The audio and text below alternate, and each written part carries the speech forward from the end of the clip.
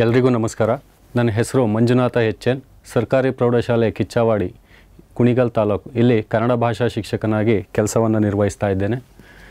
ಎಲ್ಲ ನನ್ನ ಆತ್ಮೀಯ ಹತ್ತನೇ ತರಗತಿ ವಿದ್ಯಾರ್ಥಿಗಳೇ, ಈ ಒಂದು ಮನೆ ಪಾಠ ಕಾರ್ಯಕ್ರಮದಲ್ಲಿ ಈಗಾಗಲೇ ನೀವು ಹಲವಾರು ಕನ್ನಡಕ್ಕೆ ಸಂಬಂಧಿಸಿದಂತಹ ವ್ಯಾಕರಣದ ವಿಚಾರಗಳನ್ನು ನೀವೆಲ್ಲರೂ ಕೂಡ ನೋಡಿ ಸದುಪಯೋಗವನ್ನು ಪಡ್ಕೊಂಡಿದ್ದೀರಾ ಅಂತೇಳಿ ನಾನಾದರೂ ಭಾವಿಸ್ತಾ ಈ ದಿನ ಅದೇ ಕನ್ನಡ ವ್ಯಾಕರಣವನ್ನು ಮುಂದುವರಿಸುತ್ತಾ ಒಂದಷ್ಟು ವಿಚಾರಗಳನ್ನು ನಿಮ್ಮ ಜೊತೆ ಚರ್ಚೆ ಮಾಡ್ತಾ ಹೋಗ್ತೀನಿ. ಇದು ತಮಗೆ ಅನುಕೂಲ ಆಗುತ್ತೆ ಅಂತೇಳಿ ನಾನಾದರೂ ಭಾವಿಸ್ತಾ ಇದ್ದೀನಿ. ಆತ್ಮೀಯ ವಿದ್ಯಾರ್ಥಿಗಳೇ, ಈ ಕನ್ನಡ ವ್ಯಾಕರಣದಲ್ಲಿ ಈಗ ನೀವಾಗ ಈಗಾಗಲೇ ನೀವು ನಾಮಪದಗಳ ಬಗ್ಗೆ ಪರಿಚಯವನ್ನು ಮಾಡ್ಕೊಂಡಿದ್ದೀರ. ಆ ನಾಮಪದಗಳನ್ನು ನಾವು ಸಹಜ ನಾಮಪದಗಳು ನಾಮಪದಗಳು ಇವನ್ನು ನಾವು ಸಹಜ ನಾಮ ಪ್ರಕೃತಿಗಳು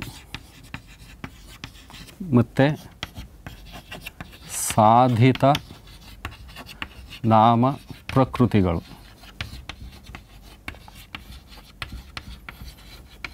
ಎಂಬುದಾಗಿ ಎರಡು ವಿಭಾಗವನ್ನು ಮಾಡ್ಕೊಳ್ತೀವಿ. ಇದರಲ್ಲಿ ನಾಮಪದಗಳು ಅಂದರೆ ಈಗಾಗಲೇ ನಿಮಗೆ ಪರಿಚಯ ಇದೆ. ನಾಮ ಅಂತಂದರೆ ಹೆಸರು. ಸಹಜ ನಾಮ ಪ್ರಕೃತಿಗಳು ಅಂತ ಅಂದರೆ ಒಂದು ಭಾಷೆ. ಒಂದು ಭಾಷೆ ಯಾವಾಗ ಹುಟ್ಟಿತು ಅಂತೇಳಿ ಹೇಳ್ತೀವಿ ನಾವು, ಎಲ್ಲಿಂದ ಬಳಕೆಗೆ ಬಂತು ಅಂತ ಹೇಳ್ತೀವಿ, ಅಲ್ಲಿಂದಲೂ ಕೂಡ ಭಾಷೆಯ ಜೊತೆ ಜೊತೆಗೆ ಬೆಳೆದುಕೊಂಡು ಬಂದಂತಹ ಪದಗಳನ್ನು ಸಹಜ ನಾಮ ಪ್ರಕೃತಿಗಳು ಅಂತ ಹೇಳಿ ಕರಿತೀವಿ. ಸಾಧಿತ ನಾಮ ಪ್ರಕೃತಿಗಳು ಅಂತ ಅಂದರೆ ಎರಡು ಪದಗಳು ಸೇರಿ ಒಂದು ಹೊಸ ಪದವಾಗುವಂತಹ ಪ್ರಕ್ರಿಯೆ ಆಗಿರ್ಬೋದು, ಅಥವಾ ಒಂದು ಪ್ರಕೃತಿಗೆ ಪ್ರತ್ಯಯಗಳು ಸೇರಿ ಹೊಸ ಪದಗಳು ಉಂಟಾಗುವಂತಹದ್ದಾಗಿರ್ಬೋದು. ಆ ರೀತಿಯಾದಂತಹ ನಾಮಪದಗಳಿಗೆ ಸಾಧಿತ ನಾಮ ಪ್ರಕೃತಿಗಳು ಅಂತ ಹೇಳಿ ಕರಿತೀವಿ. ಇಲ್ಲಿ ನಾವು ಮೂರು ಬಗೆಗಳನ್ನು ಗುರುತಿಸ್ಬೋದು ಸಾಧಿತ ನಾಮ ಪ್ರಕೃತಿಗಳಲ್ಲಿ. ಮೊದಲನೇದು ಸಮಾಸ. ಎರಡನೇದು ತದ್ದಿತಾಂತ ಮೂರನೇದು ಕೃದಂತ ಅಂತ. ಮಕ್ಕಳೇ, ಈಗಾಗಲೇ ನೀವು ಸಮಾಸಗಳ ಬಗ್ಗೆ ಪರಿಚಯವನ್ನು ಮಾಡ್ಕೊಂಡಿದ್ದೀರಿ. ಸಮಾಸಗಳು ಏನು ತತ್ಪುರುಷ ಸಮಾಸ, ಕರ್ಮಧಾರೆಯ ಸಮಾಸ, ಅವೆಲ್ಲ ಹೇಗೆ ಆಗ್ತಾ ಇದ್ದಾವೆ ಪೂರ್ವ ಪದ ಮತ್ತು ಉತ್ತರ ಪದಗಳು ಸೇರಿ ಸಮಸ್ತ ಪದ ಹೇಗಾಗಿದೆ ಅನ್ನೋದನ್ನು ನೀವು ಈಗಾಗಲೇ ಪರಿಚಯ ಮಾಡ್ಕೊಂಡಿದ್ದೀರಾ? ನಾನು ಈ ದಿನದ ಒಂದು ತರಗತಿಯಲ್ಲಿ ತದ್ದಿತಾಂತಗಳ ಬಗ್ಗೆ ನಿಮ್ಮ ಜೊತೆ ಚರ್ಚೆಯನ್ನು ಮಾಡ್ತಾ ಇದ್ದೇನೆ. ಇದು ಬಹಳ ಪ್ರಮುಖವಾದಂತಹ ಅಂಶ. ಯಾಕೆ ಅಂತಂದರೆ ತುಂಬ ಚೆನ್ನಾಗಿ ಕಲ್ತಿರ್ತಕ್ಕಂಥ ಮಕ್ಕಳು ಕೂಡ ತಪ್ಪು ಮಾಡಬಹುದಾದಂತಹ ಅಂಶ ಅಂತ ಅಂದರೆ ಈ ತದ್ದಿತಾಂತ ಮತ್ತು ಕೃದಂತ ಮೊದಲಿಗೆ ನಾವು ಈ ತದ್ಧಿತಾಂತ ಮತ್ತು ಕೃದಂತ ಈ ಎರಡರ ನಡುವೆ ಇರುವಂತಹ ಒಂದು ಸಣ್ಣ ವ್ಯತ್ಯಾಸವನ್ನು ಗಮನಿಸೋದ್ರ ಮೂಲಕ ನಂತರ ನಾವು ತದ್ದಿತಾಂತದ ವಿಚಾರದ ಬಗ್ಗೆ ಹೆಚ್ಚಿಗೆ ಮಾತನಾಡ್ತಾ ಹೋಗೋಣ. ಇದರಲ್ಲಿ ಈಗಾಗಲೇ ನೀವು ಈ ಬಾರಿಯ ಹತ್ತನೇ ತರಗತಿ ಪರೀಕ್ಷೆಯ ಪ್ರಶ್ನೆ ಪತ್ರಿಕೆಯಲ್ಲಿ ಹಲವಾರು ಬದಲಾವಣೆಗಳನ್ನು ಮಾಡಿದ್ದು ಗ್ರಾಮರ್ಗೆ, ಅಂದರೆ ವ್ಯಾಕರಣದಲ್ಲಿ ಇಪ್ಪತ್ತು ಅಂಶಗಳನ್ನು ಇಟ್ಟಿದ್ದಾರೆ. ಆ ಇಪ್ಪತ್ತು ಅಂಶಗಳಲ್ಲಿ ತದ್ದಿತಾಂತ ಮತ್ತು ಕೃದಂತಗಳು ಸೇರಿವೆ. ಹಾಗಾಗಿ ಈ ಎರಡು ವಿಚಾರಗಳಿಂದ ಒಂದು ಪ್ರಶ್ನೆಯನ್ನು ನೀವು ಪರೀಕ್ಷೆಯಲ್ಲಿ ನಿರೀಕ್ಷೆ ಮಾಡಬಹುದಾಗಿದೆ. ನೋಡಿ, ತದ್ದಿತಾಂತ ಅಂದ ತಕ್ಷಣ ನಾವು ಮೊದಲು ತಿಳ್ಕೊಳ್ಬೇಕಾಗಿರೋದು ನಾಮ ಪ್ರಕೃತಿ.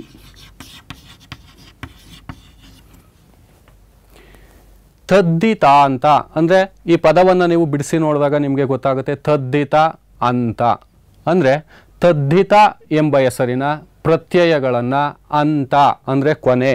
ತದ್ದಿತ ಎಂಬ ಹೆಸರಿನ ಪ್ರತ್ಯಯಗಳನ್ನು ಕೊನೆಯಲ್ಲಿ ಉಳ್ಳಂತಹ ಪದಗಳೇ ತದ್ದಿತಾಂತಗಳು ತದ್ದಿತ ಎಂಬ ಹೆಸರಿನ ಪ್ರತ್ಯಯಗಳನ್ನು ಕೊನೆಯಲ್ಲಿ ಉಳ್ಳಂತಹ ಪದಗಳೇ ತದ್ದಿತಾಂತಗಳು ಇನ್ನು ಕೃದಂತ.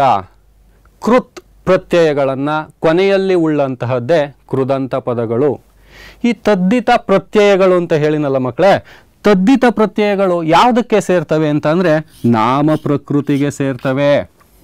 ಕೃದಂತ, ಕೃತ್ ಪ್ರತ್ಯಯಗಳು ಯಾವುದಕ್ಕೆ ಸೇರ್ತವೆ ಅಂತಂದರೆ ಧಾತುಗೆ ಸೇರ್ತವೆ. ಧಾತು ಅಥವಾ ಕ್ರಿಯಾ ಪ್ರಕೃತಿ ಅಂತ ಹೇಳಿ ಕರಿತೀವಿ. ನಾವು ಬಹಳ ಮುಖ್ಯವಾಗಿ ಈ ಒಂದು ವ್ಯತ್ಯಾಸವನ್ನು ಅರ್ಥ ಮಾಡಿಕೊಂಡ್ರೆ ಮಾತ್ರ ಮುಂದೆ ನಾವು ಯಾವುದೇ ಪದಗಳನ್ನು ಅದು ತದ್ದಿತಾಂತನ ಅಥವಾ ಕೃದಂತನ ಅಂತ ಹೇಳಿ ನಿರ್ಧಾರ ಮಾಡಬಹುದಾಗಿದೆ. ಈಗ ನಾಮ ಪ್ರಕೃತಿ ಅಂತೇಳಿ ಹೇಳಿದೆ. ಏನು ನಾಮ ಪ್ರಕೃತಿ ನಾಮ ಅಂದರೆ ಹೆಸರು. ಅದಕ್ಕೆ ಯಾವುದೇ ಪ್ರತ್ಯಯಗಳು ಇನ್ನೂ ಸೇರ್ದಲೇ ಇದ್ದರೆ ಅದನ್ನು ನಾಮ ಪ್ರಕೃತಿ ಅಂತ ಹೇಳಿ ಕರಿತೀವಿ. ಅಥವಾ ನಾಮಪದದ ಮೂಲ ರೂಪ. ಈಗ ಉದಾಹರಣೆ ರಾಮ ಅಂತ ಕರೆದ್ರೆ ಅದಕ್ಕೆ ಯಾವುದೇ ರೀತಿ ಪ್ರತ್ಯಯ ಇನ್ನೂ ಸೇರಿಲ್ಲ. ಹೌದಾ? ರಾಮ. ಇದಕ್ಕೆ ನಾವೀಗ ವಿಭಕ್ತಿ ಪ್ರತ್ಯಯ, ಪ್ರಥಮ ವಿಭಕ್ತಿ ಪ್ರತ್ಯಯ ಊ ಏನಾದರೂ ಸೇರಿಸಿದ್ರೆ ಅದೇನಾಗುತ್ತೆ? ರಾಮನೂ ಆಗುತ್ತೆ. ಹೌದಾ? ಇದು ನಾಮಪದ ಆಗುತ್ತೆ. ರಾಮ ಅನ್ನೋದು ಪ್ರಕೃತಿ ಆಗುತ್ತೆ ಹಾಗಾಗಿ ಈ ತದ್ದಿತ ಪ್ರತ್ಯಯಗಳೇನಿದ್ದಾವೆ ಅವೆಲ್ಲವೂ ಕೂಡ ನಾಮ ಪ್ರಕೃತಿಗಳಿಗೆ ಸೇರ್ತವೆ. ಉದಾಹರಣೆ, ಮೋಸ. ಇದು ಕೂಡ ಒಂದು ನಾಮ ಪ್ರಕೃತಿ. ಈ ಮೋಸ, ಈ ಒಂದು ನಾಮ ಪ್ರಕೃತಿಗೆ ಗಾರ ಎನ್ನುವ ಪ್ರತ್ಯಯ ಸೇರ್ತು. ಹಾಗಾಗಿ ಒಂದು ಹೊಸ ಪದ ಉಂಟಾಯಿತು.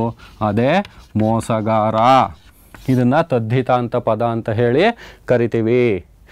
ಈ ಕೃದಂತ, ಈ ಕೃತ್ ಪ್ರತ್ಯಯಗಳು ಧಾತುಗೆ ಸೇರ್ತವೆ ಅಂತ ಹೇಳಿ ಹೇಳಿದೆ. ಧಾತು ಅಂದ್ರೇನು? ಕ್ರಿಯಾಪದದ ಮೂಲ ರೂಪ ಈ ಕ್ರಿಯಾಪದದ ಮೂಲ ರೂಪ ಉದಾಹರಣೆ, ಈಗ ಮಾಡು ಅಂತ ಇದೆ ಅಂದ್ಕೊಳ್ರಿ. ಇದೊಂದು ಧಾತು. ಈ ಮಾಡುಗೆ ನೋಡಿ, ಕಾಲಸೂಚಕ ಪ್ರತ್ಯಯ ದ ಇದಾಗಲೇ ನಿಮಗೆ ಗೊತ್ತು. ದ ಎನ್ನುವುದು ಭೂತಕಾಲದ ಕಾಲಸೂಚಕ ಪ್ರತ್ಯಯ. ಇದಕ್ಕೆ ಆ ಎನ್ನುವ ಕೃತ್ ಪ್ರತ್ಯಯ ಸೇರಿ ಮಾಡಿದ ಎನ್ನುವ ಪದ ಆಯಿತು. ನೋಡಿ, ಮಾಡು ಪ್ಲಸ್ ಕಾಲಸೂಚಕ ಪ್ರತ್ಯಯ ಆದಂಥ ದ ಅದರ ನಂತರ ಕೃತ್ ಪ್ರತ್ಯಯ ಆದಂಥ ಆ, ಇದು ಸೇರಿ ಮಾಡಿದ ಎನ್ನುವ ಕೃದಂತ ನಾಮಪದ ಆಯಿತು. ಅದೇ ರೀತಿ ಇಲ್ಲಿ ಮೋಸ ಎನ್ನುವ ನಾಮ ಪ್ರಕೃತಿಗೆ ಗಾರ ಎನ್ನುವ ತದ್ದಿತ ಪ್ರತ್ಯಯ ಸೇರಿ ಮೋಸಗಾರ ಎನ್ನುವ ತದ್ದಿತ ಅಂತ ಪದ ಆಯಿತು. ಇಲ್ಲಿ ನಾವು ತಿಳ್ಕೊಳ್ಬೇಕಾಗಿರೋಂಥ ಅಂಶ ಅಂತಂದರೆ ಕೃತ್ ಪ್ರತ್ಯಯಗಳೆಲ್ಲವೂ ಕೂಡ ಧಾತುಗಳಿಗೆ ಸೇರ್ತವೆ, ತದ್ದಿತ ಪ್ರತ್ಯಯಗಳೆಲ್ಲವೂ ಕೂಡ ನಾಮ ಪ್ರಕೃತಿಗೆ ಸೇರ್ತವೆ. ನೀವು ಯಾವುದಾದ್ರೂ ಒಂದು ಪದ ಬಂತು. ಈಗ ಉದಾಹರಣೆ, ಅಂಜಿಕೆ ಅಂದ್ಕೊಳ್ಳಿ. ಅಂಜಿಕೆ ಎನ್ನುವ ಪದವನ್ನು ನಾವು ಬಿಡಿಸಿದಾಗ ಏನಾಗುತ್ತೆ? ಅಂಜು ಪ್ಲಸ್ ಈಕೆ ಅಂತ ಆಗುತ್ತೆ. ಇಲ್ಲಿ ಅಂಜು ಅಂತಿದ್ದಂಗೆ ನಮಗೆ ಗೊತ್ತಾಗುತ್ತೆ, ಇದು ನಾಮ ಪ್ರಕೃತಿನ, ಕ್ರಿಯಾ ಪ್ರಕೃತಿನ. ಇದು ಕ್ರಿಯಾ ಪ್ರಕೃತಿ ಆಗಿದೆ. ಅಂಜು ಅಂದರೆ ಹೆದರು ಅಂತೇಳಿ ಒಂದು ಕ್ರಿಯೆಯನ್ನು ಹೇಳ್ತಾ ಇದೆ. ಹಾಗಾದರೆ ಇದು ಅಂಜಿಕೆ ಅನ್ನೋದು ತದ್ದಿತಾಂತ ಪದನ ಅಥವಾ ಕೃದಂತ ಪದನ? ಇದು ಕೃದಂತ ಪದ ಆಗಿದೆ. ಇದು ನಮಗೆ ಈ ರೀತಿ ಅರ್ಥವಾಗುತ್ತೆ. ಅದೇ ರೀತಿ ರಾಮನಂತೆ ಅಂತ ಒಂದು ಪದ ತೆಗೆದುಕೊಳ್ಳೋಣ ಈಗ. ರಾಮನಂತೆ ಈ ಪದವನ್ನು ಬಿಡಿಸ್ಬಾರ್ದಾಗ ಏನಾಗುತ್ತೆ? ರಾಮನ ಪ್ಲಸ್ ಅಂತೆ ಅಂತ ಆಗುತ್ತೆ. ಇಲ್ಲಿ ರಾಮನ, ರಾಮ ಎನ್ನುವುದು ಕ್ರಿಯಾ ಪ್ರಕೃತಿನ, ನಾಮ ಪ್ರಕೃತಿನ. ಅಂದರೆ ಇದು ಹೆಸರನ್ನು ಸೂಚಿಸ್ತಾ ಇದೆ. ಹಾಗಾಗಿ ಇದು ನಾಮ ಪ್ರಕೃತಿ. ಹಾಗಾದರೆ ನಾಮ ಪ್ರಕೃತಿಗೆ ಅಂತೆ ಎನ್ನುವ ಪ್ರತ್ಯಯ ಸೇರಿದೆ ಅಂತಂದರೆ ಇದು ಕೃದಂತನ ತದ್ದಿತಾಂತನ ಇದು ತದ್ದಿತಾಂತ ಆಗುತ್ತೆ.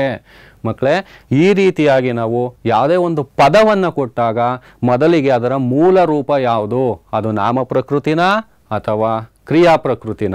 ಇದನ್ನು ನಾವು ಪತ್ತೆ ಹಚ್ಚಬೇಕಾಗುತ್ತೆ ಮೊದಲಿಗೆ. ನಂತರ ಅದಕ್ಕೆ ಯಾವ ಪ್ರತ್ಯಯ ಸೇರಿದೆ ಅನ್ನೋದನ್ನು ಗುರ್ತಚ್ಚಿ ಅದು ತದ್ದಿತಾಂತನ ಕೃದಂತನ. ಅದರಲ್ಲಿ ಯಾವುದಿದೆ ಅನ್ನೋದನ್ನು ನಾವು ನೋಡಬಹುದಾಗಿದೆ.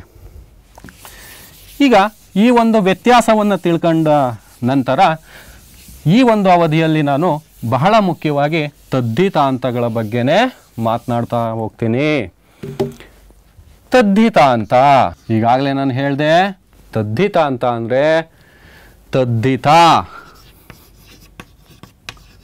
ಪ್ರತ್ಯಯಗಳು.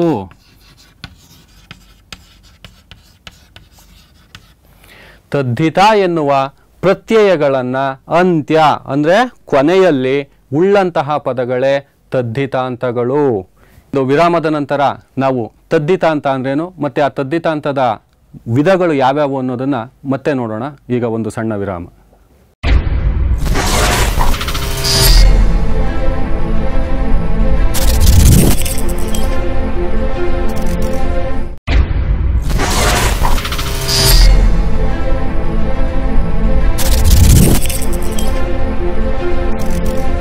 ಒಂದು ಸಣ್ಣ ವಿರಾಮದ ನಂತರ ಕಾರ್ಯಕ್ರಮಕ್ಕೆ ಮತ್ತೊಮ್ಮೆ ತಮ್ಮೆಲ್ಲರನ್ನು ಸ್ವಾಗತಿಸುತ್ತಾ ಈಗ ತದ್ದಿತ ಅಂತ ಮತ್ತು ಅದರ ವಿಧಗಳ ಬಗ್ಗೆ ಈಗ ನೋಡ್ತಾ ಹೋಗೋಣ.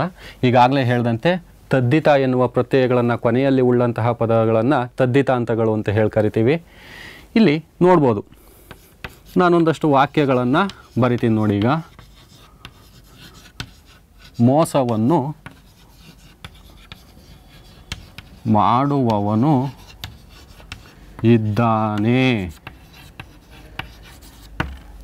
ಮೋಸವನ್ನು ಮಾಡುವವನು ಇದ್ದಾನೆ. ಕನ್ನಡವನ್ನು ಬಲ್ಲವನು ನನಗೆ ಬಹಳ ಇಷ್ಟ.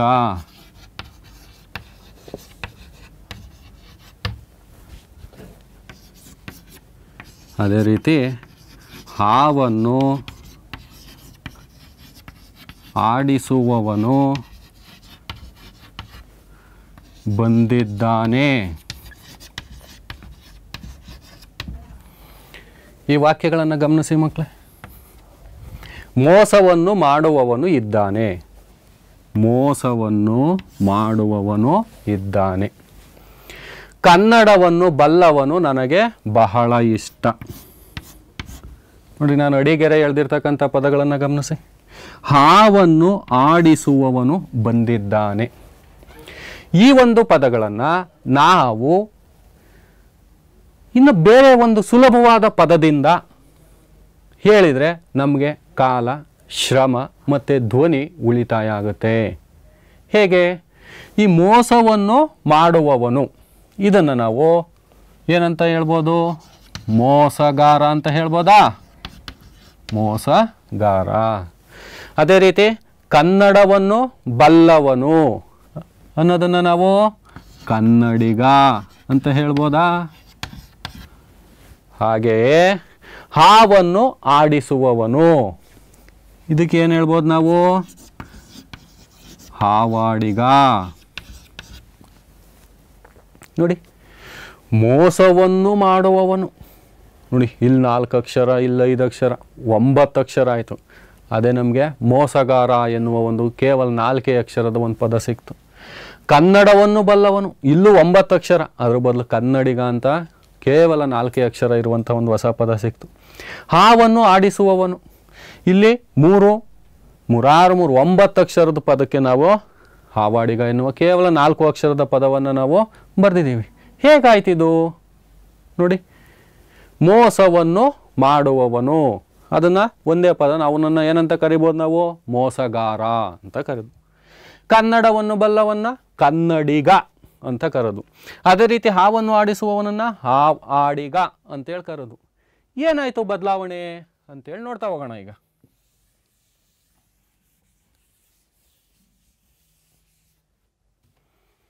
ನೋಡಿ, ಮೋಸವನ್ನು ಮಾಡುವವನು. ಈ ಪದಕ್ಕೆ ನಾವು ಮೋಸವನ್ನು ತೆಗೆದುಕೊಂಡಾಗ, ಈ ಮಾಡುವವನು ಎನ್ನುವ ಅರ್ಥದಲ್ಲಿ ಗಾರ ಎನ್ನುವ ಪ್ರತ್ಯಯ ಸೇರ್ತು. ಹೌದಾ? ಇಲ್ಲೇನಾಯಿತು? ಈ ಮೋಸವನ್ನು ಅನ್ನೋದ್ರಲ್ಲೇ ಒಂದು ಪ್ರತ್ಯಯ ಇದೆ. ಯಾವುದು? ಅನ್ನು ಅಂತ ಇದೆ. ಅದ್ರ ಜೊತೆಗೆ ಗಾರ ಬೇರೆ ಬಂತು. ಒಂದೇ ಪ್ರಕೃತಿಗೆ, ಮೋಸ ಎನ್ನುವ ಒಂದೇ ಪ್ರಕೃತಿಗೆ ಹಣ್ಣು ಮತ್ತು ಗಾರ ಎರಡು ಪ್ರತ್ಯಯಗಳು ಸೇರುವಂತಿಲ್ಲ. ಹಾಗಾಗಿ ನಾವು ಪ್ರಕೃತಿಯನ್ನು ಉಳಿಸ್ಕೊಂಡ್ವು. ಮೋಸ. ಅದಕ್ಕೆ ಗಾರ ಎನ್ನುವ ಪ್ರತ್ಯಯವನ್ನು ಸೇರಿಸಿವು. ಹಾಗಾಗಿ ಒಂದು ಪದ ಆಯಿತು, ಯಾವುದದು? ಮೋಸಗಾರ ಈ ಗಾರ ಎನ್ನುವುದು ತದ್ದಿತ ಪ್ರತ್ಯಯ. ಹಾಗಾಗಿ ಮೋಸಗಾರ ಎನ್ನುವುದು ತದ್ದಿತ ಅಂತ ಪದ.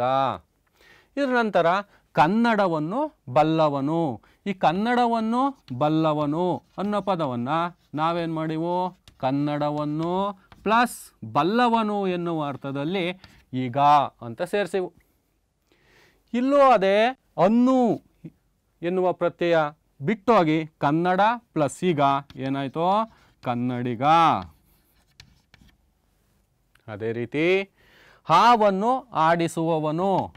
ಹಾವನ್ನು ಆಡಿಸುವವನು ಎನ್ನುವ ಅರ್ಥದಲ್ಲಿ ಆಡಿಗ ಎನ್ನುವ ಪ್ರತ್ಯಯ ಸೇರ್ತು. ಇದು ಕೂಡ ತದ್ದಿತ ಪ್ರತ್ಯಯ. ಹಾಗಾಗಿ ಇಲ್ಲಿ ಅನ್ನು ಬಿಟ್ಟು ಹೋಗಿ ಹಾವಾಡಿಗ ಆಯಿತು. ನೋಡಿ, ಮೋಸಗಾರ, ಕನ್ನಡಿಗ, ಹಾವಾಡಿಗ ಇವೆಲ್ಲವೂ ಕೂಡ ತದ್ದಿತ ಅಂತ ಪದಗಳಾಗಿದ್ದಾವೆ. ಯಾಕೆ ಅಂತ ಅಂದರೆ ಆ ಪದಗಳ ಕೊನೆಯಲ್ಲಿ ಗಾರ. ನಾನು ಮೊದಲೇ ಹೇಳಿದೆ, ತದ್ದಿತ ಪ್ರತ್ಯಯಗಳನ್ನು ಕೊನೆಯಲ್ಲಿ ಉಳ್ಳಂತಹ ಪದಗಳೇ ತದ್ದಿತಾಂತಗಳು ಈಗ, ಆಡಿಗ ಈ ರೀತಿಯಾಗಿ ತದ್ದಿತ ಅಂತ ಪದಗಳು ಆಗ್ತವೆ. ಇದು ನಿಮಗೆ ಅರ್ಥವಾಯಿತು ಅಂತೇಳಿ ಭಾವಿಸ್ತಾ, ಈಗ ತದ್ದಿತಾಂತ ಇದರಲ್ಲಿ ಮೂರು ವಿಧಗಳನ್ನು ನಾವು ಗುರುತಿಸ್ಬೋದು ಮಕ್ಕಳೇ ಮೊದಲನೆಯದಾಗಿ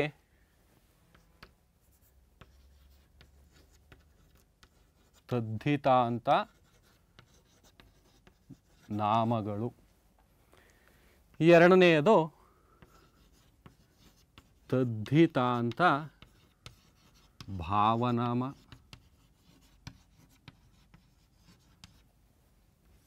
ಮೂರನೆಯದು ತದ್ದಿತಾಂತ ಅವ್ಯಯಗಳು. ಅಂತ ನೋಡಿ ತದ್ಧಿತಾಂತದಲ್ಲಿ ಮೂರು ವಿಧ. ಒಂದು ತದ್ಧಿತಾಂತ ನಾಮ ತದ್ಧಿತಾಂತ ಭಾವನಾಮ, ಹಾಗೂ ತದ್ಧಿತಾಂತ ಅವ್ಯಯ. ಈಗ ಮೊದಲಿಗೆ ತದ್ದಿತಾಂತ ನಾಮ ಅಂದರೆ ಏನು ಅಂತೇಳಿ ನಾವು ನೋಡ್ತಾ ಹೋಗೋಣ.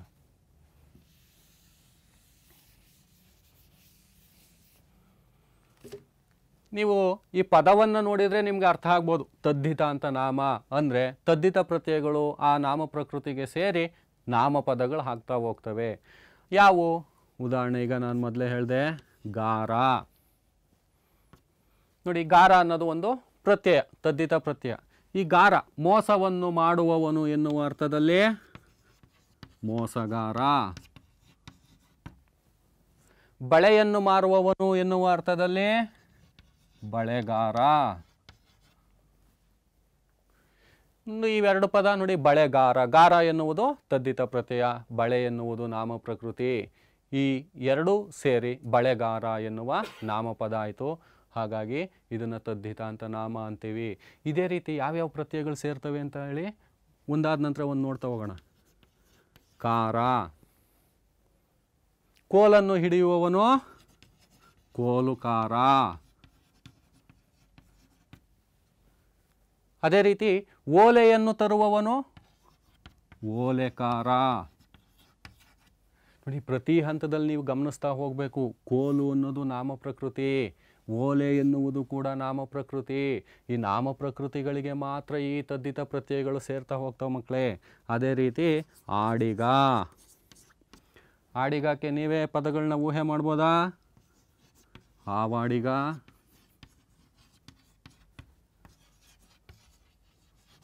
ಹೂವಾಡಿಗ. ಅದೇ ರೀತಿ ವಂತ. ಹಣವನ್ನು ಉಳ್ಳವನು? ಹಣವಂತ. ಸಿರಿಯನ್ನು ಉಳ್ಳವನು? ಸಿರಿವಂತ. ಬುದ್ಧಿಯನ್ನು ಉಳ್ಳವನು?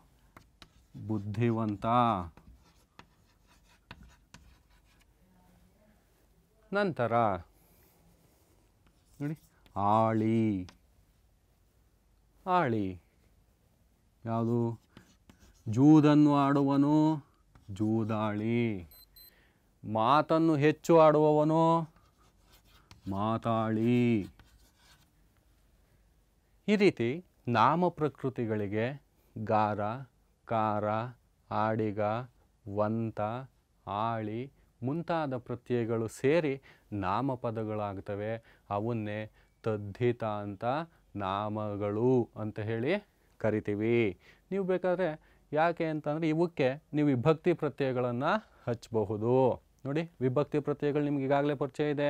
ಪ್ರಥಮ ವಿಭಕ್ತಿ ಪ್ರತ್ಯಯವು, ದ್ವಿತೀಯ ವಿಭಕ್ತಿ ಪ್ರತ್ಯಯ ಅನ್ನು, ಅದೇ ರೀತಿ ಇಂದ, ಗೆ, ದೆಸೆಯಿಂದ, ನೋಡಿ, ಇವು ನಾಮಪದಗಳು, ಇವು ಹಚ್ಬೋದಲ್ವಾ? ಬಳೆಗಾರನು, ಬಳೆಗಾರನನ್ನು, ಬಳೆಗಾರನಿಂದ, ಬಳೆಗಾರನಿಗೆ, ಬಳೆಗಾರನ ದೆಸೆಯಿಂದ, ಬಳೆಗಾರನ, ಬಳೆಗಾರನಲ್ಲಿ. ಈ ರೀತಿ ನೀವು ಯಾವುದೇ ಪದಗಳಿಗೆ ವಿಭಕ್ತಿ ಪ್ರತ್ಯಯಗಳನ್ನು ಹಚ್ಚಿ ನಾಮಪದಗಳಾಗಿ ನಾವು ಬಳಸಬಹುದು. ಹಾಗಾಗಿ ಈ ರೀತಿ ಗಾರ, ಕಾರ, ಅಡಿಗ, ಒಣಿಗ, ವಂತ, ಆಳಿ ಈ ಪ್ರತ್ಯಯಗಳು ಸೇರಿ ಉಂಟಾದಂತಹ ಪದಗಳನ್ನು ತದ್ಧಿತ ಅಂತ ನಾಮ ಅಂತ ಹೇಳಿ ಕರಿತೀವಿ. ಆತ್ಮೀಯ ಮಕ್ಕಳೇ, ಮತ್ತೊಂದು ವಿರಾಮವನ್ನು ಈ ಕಾರ್ಯಕ್ರಮದಲ್ಲಿ ತೆಗೆದುಕೊಳ್ಳುತ್ತಾ ವಿರಾಮದ ನಂತರ ಈ ಒಂದು ಪಾಠವನ್ನು ಮುಂದುವರಿಸೋಣ.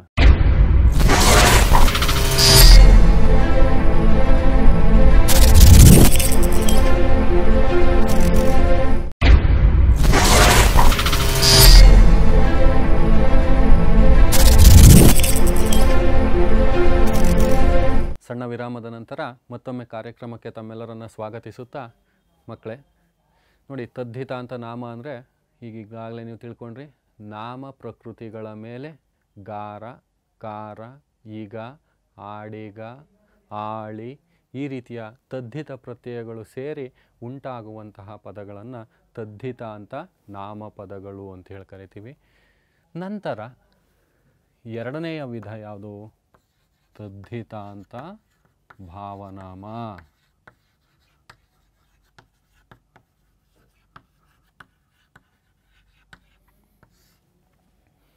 ನೋಡಿ, ಹೆಸರಲ್ಲೇ ಇದೆ. ಭಾವನಾಮ. ಅಂದರೆ ತದ್ಧಿತ ಪ್ರತ್ಯಯಗಳು ಭಾವಾರ್ಥದಲ್ಲಿ ನಾಮ ಪ್ರಕೃತಿಗಳಿಗೆ ಸೇರ್ತಾ ಹೋಗ್ತವೆ ಮಕ್ಕಳು ಇದರಲ್ಲಿ ನೀವು ಬಹಳ ಸುಲಭ ಇದನ್ನು ಗುರುತಿಸ್ತಕ್ಕಂಥದ್ದು.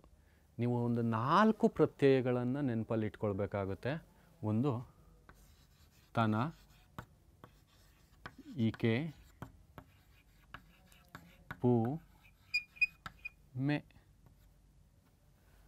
ತನ, ಈಕೆ, ಪೂ ಮೆ, ಇದು ಒಂದು ರೀತಿಲಿ ಬಹಳ ಸುಲಭ. ಜೊತೆಗೆ ಒಂದು ರೀತಿಲಿ ಕಷ್ಟ.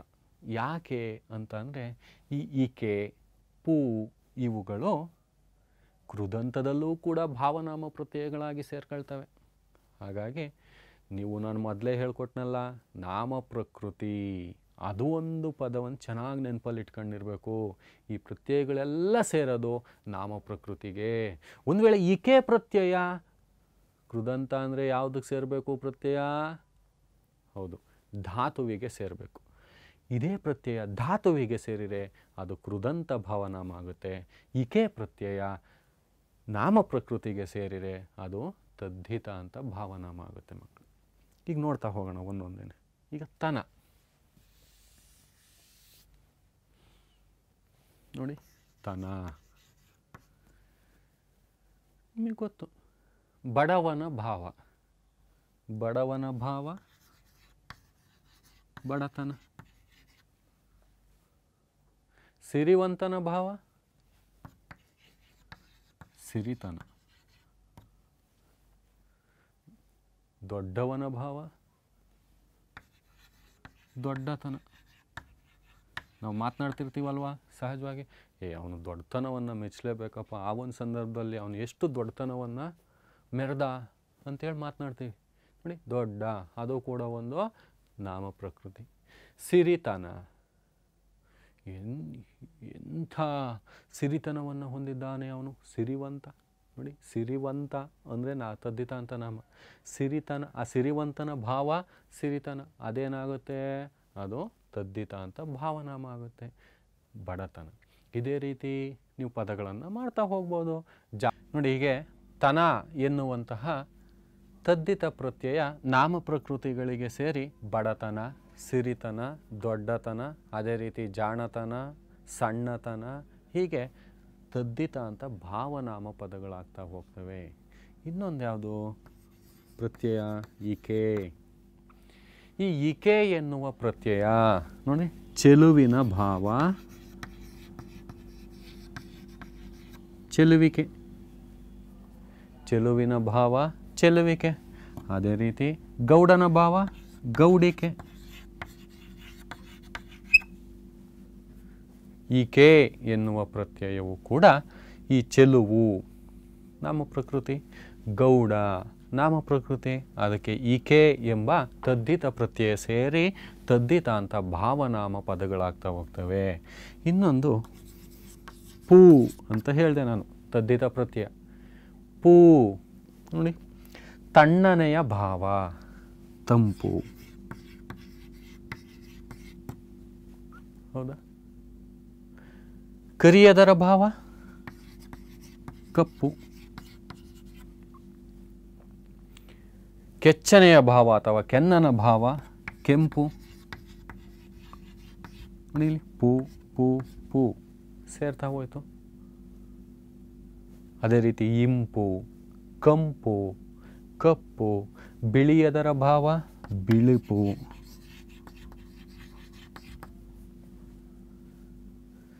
ನೋಡಿ ಪೂ. ಈ ಪೂ ತದ್ದಿತ ಪ್ರತ್ಯಯ ಸೇರಿ ಇವು ತದ್ದಿತ ಅಂತ ಭಾವನಾಮಗಳಾಗ್ತವೆ. ಇದು ಒಂದು ಸ್ವಲ್ಪ ಈಗ ನೋಡು, ಇಲ್ಲೇ ಒಂದು ವ್ಯತ್ಯಾಸವನ್ನು ಹೇಳ್ಬಿಡ್ತೀನಿ. ಬಿಳುಪು ಅಂದರೆ ಬಿಳಿಯದರ ಭಾವ, ಬಿಳಿ ಅನ್ನೋದು ನಾಮ ಪ್ರಕೃತಿ ಆಗುತ್ತೆ. ಅದೇ ನಿಮಗೆ ಒಂದು ಸಂದರ್ಭ ಬರ್ಬೋದು. ಹೊಳೆಪು. ಸರ್, ಇಲ್ಲೂ ಇದೆಯಲ್ಲ ಹೊಳೆಪು? ಹಾಗಾದರೆ ಇದು ತದ್ದಿತ ಅಂತ ಭಾವನಾಮನ? ಅಂತ ನೀವೇ ಪ್ರಶ್ನೆ ಹಾಕ್ಕೊಂಡ್ರೆ ಉತ್ತರನೂ ನೀವೇ ಹುಡುಕಳ್ಬೋದು ಹೇಗೆ? ಹೊಳೆ ಹೊಳೆ. ಹೊಳೆ ಅನ್ನೋದೇನೋ ಧಾತು ಆಗುತ್ತೆ. ಹಾಗಾದರೆ ಈ ಪೂ ಅನ್ನೋದು ಹೊಳೆ ಎನ್ನುವ ಧಾತುವಿಗೆ ಸೇರಿದರೆ ಇದು ಎಲ್ಲೋಗುತ್ತೆ? ಕೃದಂತ ಭಾವನಾಮಕ್ಕೆ ಹೋಗುತ್ತೆ. ಹಾಗಾಗಿ ಇದು ಇಲ್ಲಿ ತದ್ದಿತ ಅಂತ ಭಾವನಾಮಕ್ಕೆ ಬರಲ್ಲ. ಪೂ ಅಂತ ಬಂದ ತಕ್ಷಣ ನೀವು ಆ ಪೂ ಅನ್ನೋದು ನಾಮ ಪ್ರಕೃತಿಗೆ ಸೇರಿದೆಯಾ, ಕ್ರಿಯಾ ಪ್ರಕೃತಿಗೆ ಸೇರಿದೆಯಾ ಅನ್ನೋದನ್ನ ಪದೇ ಪದೇ ಗಮನಿಸ್ಬೇಕಾಗುತ್ತೆ ಮಕ್ಕಳೇ. ಹಾಗಾಗಿ ಪೂ ಅನ್ನೋದು ನೋಡಿ ತದ್ದಿತ ಪ್ರತ್ಯಯ ಸೇರಿ ತಂಪು, ಕಪ್ಪು, ಕೆಂಪು, ಬಿಳುಪು, ಕಂಪು ಈ ರೀತಿಯ ಪದಗಳಾಗ್ತವೆ. ನಂತರ ಮೇ, ಹಿರಿಯದರ ಭಾವ ಹಿರಿಮೆ. ಪಿರಿಯದರ ಭಾವ ಪೆರ್ಮೆ. ಅದೇ ರೀತಿ ಕೂರ್ಮೆ. ಗರಿಮೆ. ನೋಡಿ, ಮೇ ಅನ್ನೋದು ಕೂಡ ಒಂದು ತದ್ದಿತ ಪ್ರತ್ಯಯವಾಗಿದ್ದು, ಭಾವಾರ್ಥದಲ್ಲಿ ಹಿರಿಯದರ ಭಾವ ಹಿರಿಮೆ. ಈ ರೀತಿ ಮೇ ಎನ್ನುವ ಪ್ರತ್ಯಯ ನಾಮ ಪ್ರಕೃತಿಗೆ ಸೇರಿ ಇದು ತದ್ದಿತ ಅಂತ ಭಾವನಾಮಗಳಾಗ್ತವೆ. ಇವು ಸಾಮಾನ್ಯವಾಗಿ ಷಷ್ಠಿ ವಿಭಕ್ತ್ಯಾಂತಗಳಾಗಿರ್ತವೆ. ನೋಡಿ, ಹಿರಿಯದರ ಅಥವಾ ಹಿರಿದರ ಭಾವ. ಇಲ್ಲಿ ಆ ಷಷ್ಠಿ ವಿಭಕ್ತಿ ಅಂತ ಪ್ರತ್ಯಯ, ಸರಿ, ನಾಮ ಪ್ರಕೃತಿಗಳಿಗೆ ಈ ತನ, ಈಕೆ, ಪು, ಮೇ ಈ ಪ್ರತ್ಯಯಗಳು ಸೇರಿ ತದ್ದಿತ ಅಂತ ಭಾವನಾಮ ಪದಗಳಾಗ್ತವೆ. ನೀವು ಗಮನಿಸ್ಬೋದು ತದ್ದಿತ ಅಂತ ನಾಮಪದಗಳು ಬೇರೆ ತದ್ದಿತ ಅಂತ ಭಾವನಾಮಗಳು ಬೇರೆ. ಯಾವ ನಾಮ ಪ್ರಕೃತಿಗಳಿಗೆ ಗಾರ, ಕಾರ, ಈಕ ಈಗ, ಇತಿ ಈ ರೀತಿಯ ವಂತ ಪ್ರತ್ಯಯಗಳು ಸೇರಿರೆ ಅವು ತದ್ದಿತ ಅಂತ ನಾಮಗಳಾಗ್ತವೆ. ತನ ಇಕೆ ಪು, ಮೇ ಈ ಪ್ರತ್ಯಯಗಳು ಸೇರಿರೆ ತದ್ದಿತ ಅಂತ ಭಾವನಾಮಗಳಾಗ್ತವೆ. ತದನಂತರ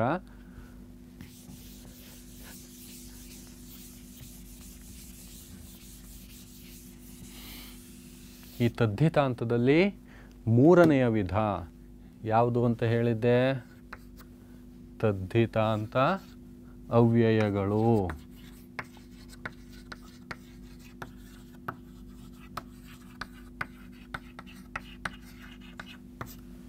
ತದ್ದಿತ ಅಂತ ಅವ್ಯಯಗಳು. ಈಗಾಗಲೇ ನಿಮಗೆ ಅವ್ಯಯಗಳು ಎನ್ನುವ ಪದ ಪರಿಚಯ ಇದೆ. ಅವ್ಯಯ ಅಂದ್ರೇನು? ಅದು ಲಿಂಗ, ವಚನ ವಿಭಕ್ತಿಗಳಿಗನುಗುಣವಾಗಿ ಯಾವುದೇ ರೂಪಭೇದ ಹೊಂದದೆ ಏಕಪ್ರಕಾರವಾಗಿ ಬಳಸಲ್ಪಡುವಂತಹ ಪದಗಳು. ಈಗ ನಾನು ಅವ್ಯಯಗಳ ಬಗ್ಗೆ ಹೆಚ್ಚಿಗೆ ಮಾತನಾಡೋಕ್ಕೆ ಹೋಗಲ್ಲ. ಬೇರೆ ಅವ್ಯಯಗಳ ಬಗ್ಗೆ. ಈಗ ಸಂಬಂಧಾರ್ಥಕ ಅವ್ಯಯಗಳು, ಸಾಮಾನ್ಯ ಅವ್ಯಯಗಳು, ಕ್ರಿಯಾರ್ಥಕ ಅವ್ಯಯಗಳು, ಭಾವಸೂಚಕ ಅವ್ಯಯಗಳು ಅಂತೇಳಿ ನೀವೆಲ್ಲರೂ ತಿಳ್ಕೊಂಡಿದ್ದೀರಿ. ಈ ಅದೇ ಪ್ರಕಾರದಲ್ಲಿ ತದ್ದಿತ ಪ್ರತ್ಯಯಗಳು ಸೇರಿ ಕೂಡ ತದ್ದಿತ ಅಂತ ಅವ್ಯಯಗಳು ಆಗ್ತವೆ. ಅವು ಯಾವ್ಯಾವು? ಅದು ಹೇಗೆ ಅವ್ಯಯಗಳಾಗ್ತವೆ ಅನ್ನೋದನ್ನು ನಾವೀಗ ನೋಡೋಣ. ಮೊದಲಿಗೆ ಈ ತದ್ದಿತ ಅಂತ ಅವ್ಯಯಗಳಾಗಲಿಕ್ಕೆ ಯಾವ ತದ್ದಿತ ಪ್ರತ್ಯಯಗಳು ಸೇರ್ತವೆ ಅನ್ನೋದನ್ನು ನಾವು ನೋಡ್ತಾ ಹೋಗೋಣ. ಅಂತೆ. ಒಲ್ ಒಲು ಓಲ್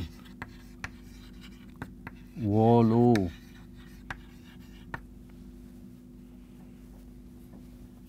ತನಕ.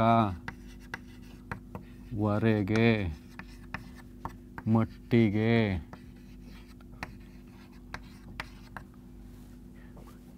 ಅದೇ ರೀತಿ ಓಸ್ಕರ ಸಲುವಾಗಿ ಇಂಥ ಆಗಿ ಒಸುಗ. ಈ ಪ್ರತ್ಯಯಗಳು ಸೇರಿ ತದ್ದಿತಾಂತ ಅವ್ಯಯ ಪದಗಳಾಗ್ತವೆ. ಅಂತೆ ಒಲ್ ಒಲು ಓಲ್ ಓಲು ತನಕ, ವರೆಗೆ, ಮಟ್ಟಿಗೆ, ಓಸ್ಕರ, ಸಲುವಾಗಿ ಇಂಥ ಆಗಿ, ಓಸುಗ. ಇಂಥ ಮುಂತಾದ ಪ್ರತ್ಯಯಗಳು ಸೇರಿ ನಾಮ ಪ್ರಕೃತಿಗಳಿಗೆ ತದ್ದಿತ ಅಂತ ಅವ್ಯಯಗಳಾಗ್ತವೆ ಈಗ ನಾವು ಒಂದೊಂದೇ ಅವ್ಯಯಗಳಿಗೆ ನಾಮ ಪ್ರಕೃತಿಗಳಿಗೆ ಒಂದೊಂದೇ ಅವ್ಯಯಗಳನ್ನು ಸೇರಿಸಿ ತದ್ದಿತ ಅಂತ ಅವ್ಯಯ ಪದಗಳು ಹೇಗಾಗ್ತವೆ ಅನ್ನೋದನ್ನು ನೋಡ್ತಾ ಹೋಗೋಣ. ಮಕ್ಕಳೇ ಈ ಒಂದು ಕಾರ್ಯಕ್ರಮದಲ್ಲಿ ಸಣ್ಣ ವಿರಾಮವನ್ನು ತೆಗೆದುಕೊಂಡು ಮತ್ತೆ ವಾಪಸ್ ಬರೋಣ. ಬಂದ ನಂತರ ಈ ತದ್ದಿತ ಅಂತ ಅವ್ಯಯಗಳ ಬಗ್ಗೆ ನಾವು ಪಾಠವನ್ನು ಮುಂದುವರಿಸೋಣ.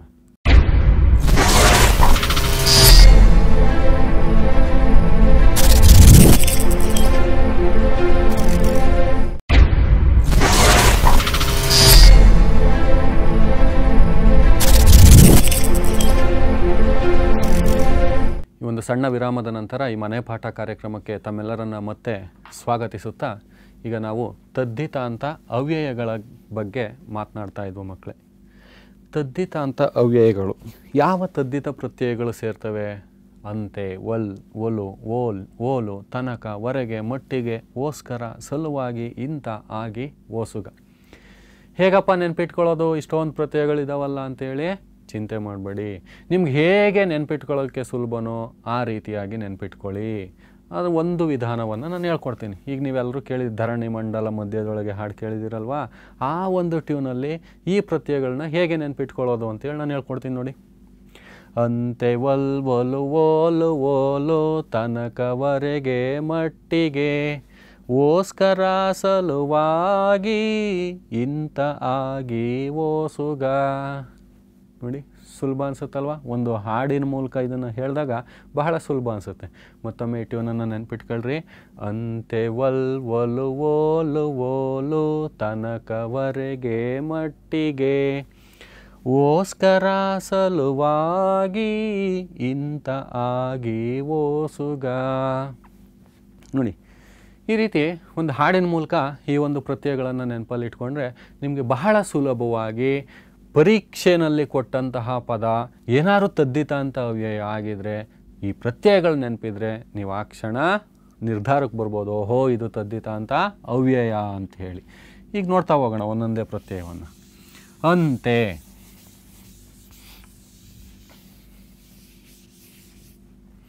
ನಾವು ಮಾತಿನಲ್ಲಿ ಸಹಜವಾಗಿ ಇವೆಲ್ಲ ಪದಗಳನ್ನ ಬಳಸ್ತಾ ಇರ್ತೀವಿ.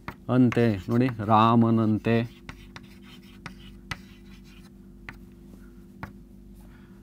ಭೀಮನಂತೆ.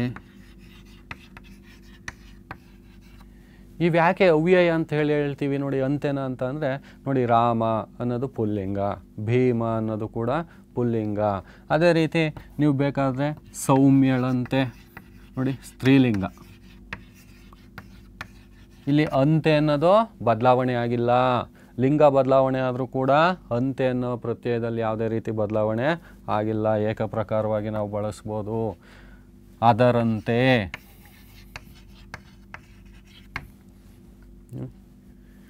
ಈ ರೀತಿ ಅಂತೆ ಎನ್ನುವ ಪ್ರತ್ಯಯ ಅಂತ್ಯದಲ್ಲಿ ನಾಮ ಪ್ರಕೃತಿಗೆ ಸೇರಿದರೆ ಅದು ತದ್ಧಿತ ಅಂತ ಅವ್ಯಯ ಆಗಿರುತ್ತೆ.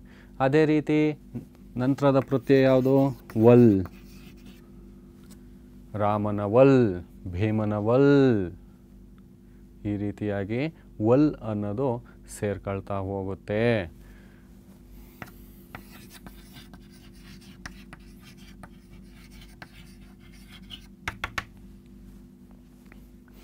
ನಂತರ ಒಲು ಇದು ಸುಲಭ ರಾಮನ ಒಲು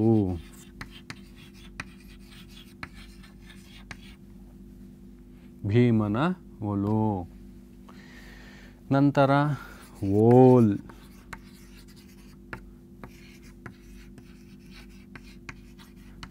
ರಾಮನ ಓಲ್.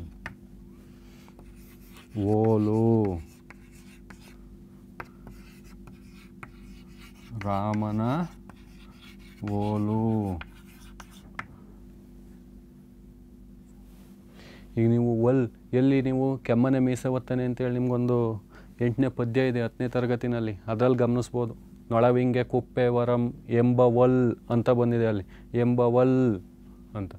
ಹಾಗಾಗಿ ಇಲ್ಲಿ ವಲ್ ಅನ್ನೋದು ಕೂಡ ತದ್ದಿತ ಪ್ರತಿಯಾಗಿದ್ದು ತದ್ದಿತ ಅಂತ ಅವ್ಯಯಗಳಾಗಿ ಬಳಕೆ ಆಗ್ತವೆ. ನೋಡಿ, ಅಂತೆ, ವಲ್ ಒಲು ಓಲ್ ಓಲ್ ನಂತರ ಯಾವುದು? ತನಕ.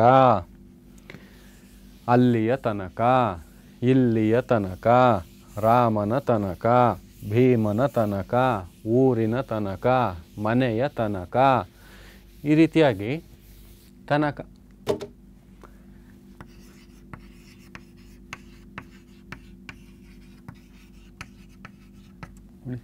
ಅಲ್ಲಿಯ ತನಕ, ಮನೆಯ ತನಕ.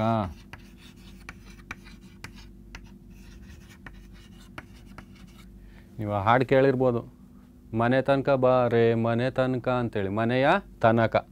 ಅಂದರೆ ಯಾವುದಾಗುತ್ತಿದೋ? ತದ್ದಿತ ಅಂತ ಅವ್ಯಯ ಆಗುತ್ತೆ. ನಂತರ ಯಾವುದು? ವರೆಗೆ. ನನ್ನನ್ನು ದಯವಿಟ್ಟು ಅಲ್ಲಿವರೆಗೆ ಸ್ವಲ್ಪ ಬಿಟ್ಟು ಬರ್ತೀಯಾ ಅಂಥೇಳಿ ಮಾತನಾಡ್ತೀರಿ. ಅಲ್ಲಿಯವರೆಗೆ. ನಾನು ಕೆಲಸ ಮುಗಿಸುವವರೆಗೆ. ಅಲ್ವಾ? ರಾಮನವರೆಗೆ. ಭೀಮನವರೆಗೆ. ಈ ರೀತಿಯಾಗಿ ನಾವು ವರೆಗೆ ಎನ್ನುವ ಪ್ರತ್ಯಯವನ್ನು ಕೂಡ ಸೇರಿಸ್ತಾ ಹೋಗ್ತೀವಿ. ಮಟ್ಟಿಗೆ. ನನ್ನ ಮಟ್ಟಿಗೆ.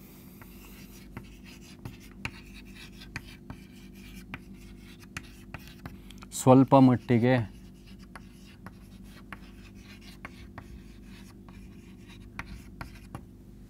ಅವನ ಮಟ್ಟಿಗೆ, ನಿನ್ನ ಮಟ್ಟಿಗೆ ಮಾತನಾಡ್ತಾ ಹೋಗ್ತೀವಿ. ನಿನ್ನ ಮಟ್ಟಿಗೆ ಏನು ಅನಿಸುತ್ತೆ ಇದು ಎನ್ನುವ ವಿಚಾರಗಳನ್ನ ನಾವು ಈಗ ಮಾತನಾಡ್ಬೇಕಾದ್ರೆ ಬಳಸ್ತೀವಿ. ನಿನ್ನ ಮಟ್ಟಿಗೆ ನೀನು ಏನು ಅಂದ್ಕೊಂಡಿದ್ಯಾ ಅಂತ.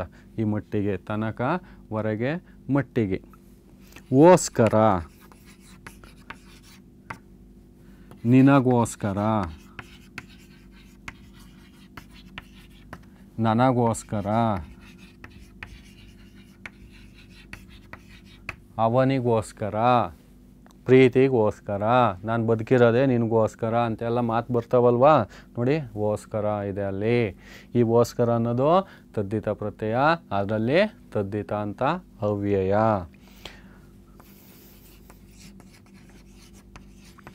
ಸಲುವಾಗಿ. ಸಲುವಾಗಿ, ಅವನ ಸಲುವಾಗಿ.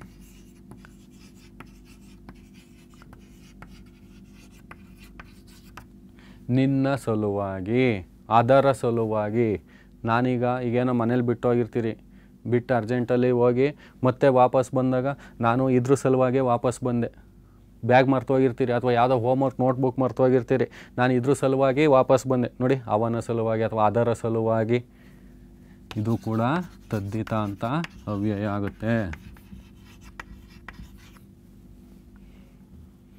ನಂತರ ಯಾವುದು?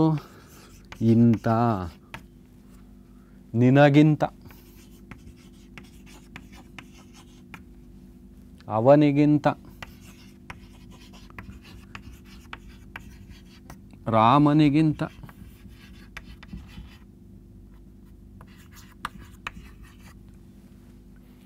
ನೋಡಿ ಈ ರೀತಿ ಇಂಥ ಎನ್ನುವ ಪ್ರತ್ಯಯ ಸೇರ್ತಾ ಸೇರಿದಾಗ ಏನಾಗುತ್ತೆ? ಆ ನಾಮ ಪ್ರಕೃತಿ ಮತ್ತು ಇಂಥ ಪ್ರತ್ಯಯ ಸೇರಿ ತದ್ದಿತ ಅಂತ ಅವ್ಯಯಗಳಾಗಿ ಇವು ಬಳಕೆ ಆಗ್ತಾ ಹೋಗ್ತವೆ.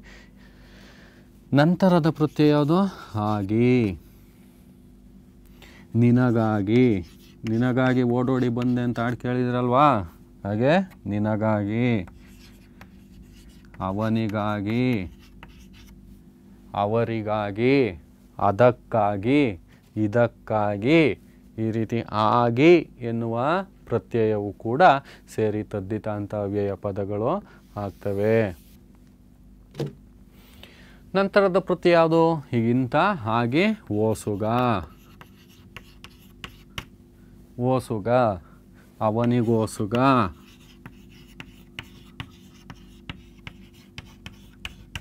ನಿನಗೋಸುಗ.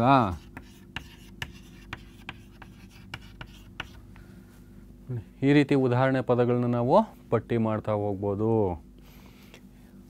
ಅಂತೆ ಒಲ್ ಒಲು ಓಲ್ ಓಲು ತನಕ, ವರೆಗೆ, ಮಟ್ಟಿಗೆ, ಓಸ್ಕರ, ಸಲುವಾಗಿ ಇಂಥ ಆಗಿ, ಓಸುಗ. ಇವೆಲ್ಲವೂ ಕೂಡ ನಾಮ ಪ್ರಕೃತಿಗಳಿಗೆ ಸೇರಿದಂಥ ಸಂದರ್ಭದಲ್ಲಿ ಅವು ತದ್ದಿತಾಂತ ಅವ್ಯಯಗಳಾಗಿ ಬಳಕೆ ಆಗ್ತವೆ. ಹಾಗಾಗಿ ಅವನ್ನ ತದ್ದಿತಾಂತ ಅವ್ಯಯಗಳು ಅಂತ ಹೇಳಿ ಕರಿತೀವಿ. ಮಕ್ಕಳೇ ಈಗ ನಾವು ತದ್ದಿತಾಂತ ಎನ್ನುವ ವಿಚಾರದಲ್ಲಿ ತದ್ದಿತಾಂತದ ವಿಧಗಳು ಯಾವ್ಯಾವು, ಮತ್ತು ಅವುಗಳ ಪ್ರತ್ಯಯಗಳು ಯಾವುವು ಅನ್ನೋದ್ರ ಬಗ್ಗೆ ಈಗ ನಾವು ತಿಳ್ಕೊಂಡು, ಮತ್ತೊಮ್ಮೆ ನಾವು ಅದನ್ನು ರೀಕಾಲ್ ಮಾಡೋಣ. ಮೊದಲನೇದಾಗಿ ತದ್ದಿತಾಂತ ಅಂದರೆ ತದ್ದಿತ ಪ್ರತ್ಯಯಗಳನ್ನು ಅಂತ್ಯದಲ್ಲಿ ಉಳ್ಳಂತಹ ಪದವೇ ತದ್ದಿತಾಂತ ಈ ತದ್ದಿತ ಪ್ರತ್ಯಯಗಳು ಯಾವುದಕ್ಕೆ ಸೇರುತ್ತವೆ ಎಂದರೆ ನಾಮ ಪ್ರಕೃತಿಗಳಿಗೆ ಸೇರುತ್ತವೆ. ತದ್ದಿತಾಂತ ಎಂದ ಕೂಡಲೇ ನಿಮಗೆ ನಾಮ ಪ್ರಕೃತಿಗೆ ಅನ್ನೋದು ನೆನಪಲ್ಲಿ ಇರಬೇಕು. ಈ ನಾಮ ಪ್ರಕೃತಿಗಳಿಗೆ ತದ್ದಿತ ಪ್ರತ್ಯಯಗಳು ಸೇರಿ ಆಗುವ ಪದವೇ ತದ್ದಿತಾಂತಗಳು. ಈ ತದ್ದಿತಾಂತದಲ್ಲಿ ನಾನೀಗಾಗಲೇ ನಿಮಗೆ ತಿಳಿಸಿದಂತೆ ಮೂರು ವಿಧಗಳಿವೆ. ಮೊದಲನೇದು ತದ್ದಿತಾಂತ ನಾಮಪದಗಳು. ಎರಡನೇದು ತದ್ದಿತಾಂತ ಭಾವನಾಮ. ಮೂರನೇದು ತದ್ದಿತಾಂತ ಅವ್ಯಯ. ತದ್ದಿತಾಂತ ನಾಮ ನೆನಪಲ್ಲಿಟ್ಕೊಳ್ಬೇಕಾಗಿರೋ ಪ್ರತ್ಯಯಗಳು ಗಾರ, ಕಾರ, ಈಗ, ಆಡಿಗ ಒಳ ನೋಡಿ, ಮಡಿಯನ್ನು ಮಾಡುವವನು, ಮಡಿವಳ ಅಥವಾ ಮಡಿವಾಳ, ವಾಳ. ಎಂಬುದು ಕೂಡ ಇದೆ. ಹೀಗೆ ತದ್ದಿತಾಂತ ಭಾವನಾಮ ಅಂದಾಗ ತನ, ಈಕೆ ಪೂಮೆ ತದ್ದಿತಾಂತ ಅವ್ಯಯ ಅಂದಾಗ ನಾನು ಹಾಡಿನ ಮೂಲಕ ಹೇಳ್ಕೊಟ್ಟಂತಹ ಎಲ್ಲ ಪ್ರತ್ಯಯಗಳು. ಇವನ್ನ ನೆನಪಲ್ಲಿಟ್ಕೊಂಡು ನೀವು ಅದನ್ನು ಅರ್ಥ ಮಾಡ್ಕೊಳ್ಬೇಕಾಗುತ್ತೆ. ಜೊತೆಗೆ ಇಷ್ಟನ್ನೇ ಓದಿದರೆ ಸಾಲದು, ನಿಮ್ಮ ಪಠ್ಯದಲ್ಲಿ ನೀವು ಓದುವಂತಹ ಸಂದರ್ಭದಲ್ಲಿ ಈ ತದ್ದಿತಾಂತ ಪದಗಳು ಎಲ್ಲೆಲ್ಲಿ ಬರ್ತವೆ ಅವನ್ನೆಲ್ಲ ಒಂದು ಕಡೆ ಪಟ್ಟಿ ಮಾಡಿಕೊಂಡು ಅವು ಯಾವ್ಯಾವ ಗುಂಪಿಗೆ ಸೇರ್ತವೆ, ಅದು ತದ್ದಿತಾಂತ ನಾಮನ ತದ್ದಿತಾಂತ ಭಾವನಾಮನ ಅಥವಾ ತದ್ದಿತಾಂತ ಅವ್ಯಯನ ಅಂತೇಳಿ ನೀವೇ ಗುರ್ತಚ್ಚಬೇಕಾಗುತ್ತೆ ಒಂದು ವೇಳೆ ಇದರಲ್ಲಿ ಯಾವುದಾದ್ರೂ ಅನುಮಾನಗಳು ಬಂದರೆ ನಿಮ್ಮ ಶಿಕ್ಷಕರನ್ನು ಕೇಳಿ ಆ ಅನುಮಾನಗಳನ್ನು ಪರಿಹರಿಸ್ಕೊಳ್ಳೋದ್ರ ಮೂಲಕ ತದ್ದಿತಾಂತಗಳ ಬಗ್ಗೆ ಹೆಚ್ಚು ನೀವು ಕಲಿಬಹುದಾಗಿದೆ. ಪರೀಕ್ಷೆಯಲ್ಲಿ ಸುಲಭವಾಗಿ ಒಂದು ಅಂಕವನ್ನು ಪಡೆಯಬಹುದಾಗಿದೆ ಅಂತೇಳಿ ಹೇಳ್ತಾ ಇದ್ದೀನಿ. ಆತ್ಮೀಯರೇ, ಈಗಾಗಲೇ ನಮ್ಮ ಹಲವಾರು ಸ್ನೇಹಿತರು ಈ ಒಂದು ಮನೆಪಾಠ ಕಾರ್ಯಕ್ರಮದಲ್ಲಿ ಕನ್ನಡ ವ್ಯಾಕರಣ ವಿಷಯವಾಗಿ ಹಲವಾರು ವಿಷಯಗಳನ್ನು ತಮಗೆ ಈ ಒಂದು ಕಾರ್ಯಕ್ರಮದ ಮೂಲಕ ಪ್ರಸ್ತುತಪಡಿಸಿದ್ದಾರೆ. ಈ ಎಲ್ಲ ವಿಷಯಗಳನ್ನು, ಈ ಒಂದು ಕಾರ್ಯಕ್ರಮಗಳನ್ನು ನೀವು ನೋಡಿ ಈ ಕಾರ್ಯಕ್ರಮದ ಸದುಪಯೋಗವನ್ನು ಪಡ್ಕೊಂಡಿದ್ದೀರಾ ಅಂತೇಳಿ ನಾನಾದರೂ ಭಾವಿಸ್ತಾ ಇದ್ದೀನಿ. ಇಂಥ ಒಂದು ಅತ್ಯುತ್ತಮ ಕಾರ್ಯಕ್ರಮವನ್ನು ನೀವು ತಪ್ಪದೆ ವೀಕ್ಷಿಸುವ ಮೂಲಕ ನೀವು ಹೆಚ್ಚು ಹೆಚ್ಚು ವಿಚಾರಗಳನ್ನು ಅರ್ಥ ಮಾಡಿಕೊಂಡು ಪರೀಕ್ಷೆಯಲ್ಲಿ ಉತ್ತಮ ಅಂಕಗಳನ್ನು ಗಳಿಸುವುದರ ಜೊತೆಗೆ ನಿಮ್ಮ ಜ್ಞಾನವನ್ನೂ ಕೂಡ ಹೆಚ್ಚಿಸಿಕೊಳ್ಳಿ ಅಂತೇಳಿ ಹೇಳ್ತಾ ಇಂದಿನ ಈ ಒಂದು ಮನೆಪಾಠ ಕಾರ್ಯಕ್ರಮವನ್ನು ಮುಕ್ತಾಯ ಮಾಡ್ತಾ ಇದ್ದೀನಿ.